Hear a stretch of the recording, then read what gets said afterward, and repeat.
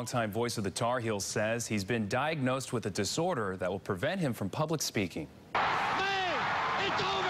Carolina has won the national championship. That's a taste of Woody Durham back when he was the announcer for the Tar Heels. Today he shared that he was diagnosed with a neurological disorder that will affect his speech. Right now on WNCN.com, you can hear from Durham himself as he explains the disorder.